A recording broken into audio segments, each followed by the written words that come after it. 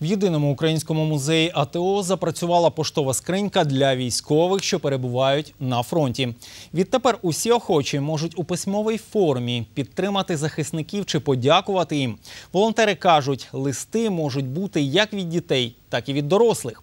Пошту забиратимуть раз на тиждень і передаватимуть адресатам. Деякі з цих листів відсканують для публікації на сторінці Центру допомоги учасників АТО в мережі Фейсбук. А в майбутньому, імовірно, з найцікавіших листів вийде друком альбом. Якщо хтось комусь конкретно хоче написати, людина знайде спосіб, як передати кому, комусь конкретно, я думаю. Да?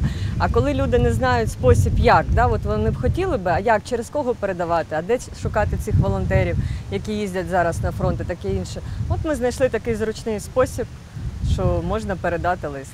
Я знаю замполитов, которые каждый день перед утренним построением доставали детское письмо и читали, э, как бы таким образом вдохновляя ребят и напоминая, вот ради кого они находятся там на передовой. Мы просим писать не только детей, потому что это вот, в общем-то, такой стереотип, да, что дети пишут солдату, но не менее трогательно, если э, солдату напишет любой гражданин, да, который просто может сказать спасибо.